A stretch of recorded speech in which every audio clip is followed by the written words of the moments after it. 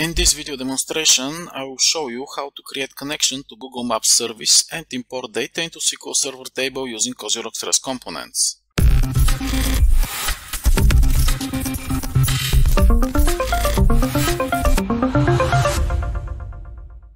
Run Visual Studio under Administrator account and create a new Integration Services project. Click on Data Flow tab and click here to add a new data flow task. From left side panel scroll down and drag and drop resource component on canvas.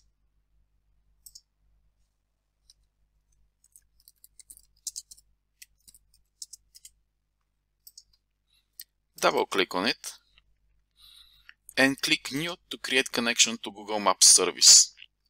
From Configuration drop-down menu, select Google Maps and provide your API key.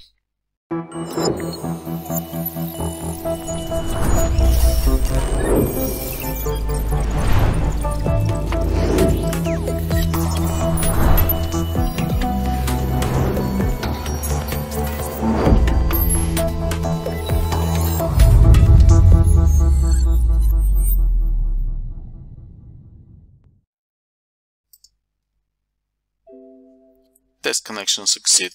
Click OK. From Resources drop-down menu, select Distance Matrix.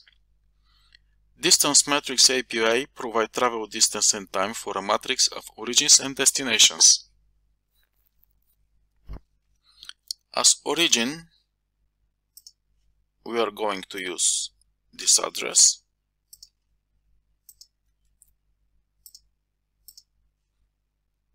and for destination we are going to use new COZYROC's office address. Click on columns tab to see available columns on preview tab for data preview. Click OK.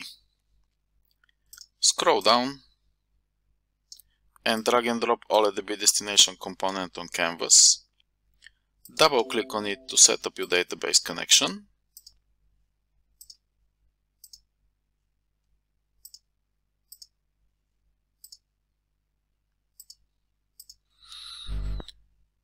Select source component and drag the blue arrow connecting source with destination. As output, select distance matrix and click OK. Double-click on destination component mapping step to map source with destination columns.